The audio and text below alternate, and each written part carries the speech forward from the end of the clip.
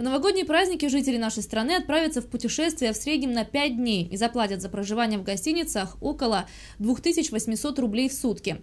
Отдых в России обойдется в среднем на 20% дешевле, чем за рубежом. По данным рейтинга, самым дорогим городом в новогодние праздники станет Сочи, где гости потратят на проживание более 6 тысяч рублей в сутки, а наиболее бюджетным – Нижний Новгород – 2300 рублей в сутки.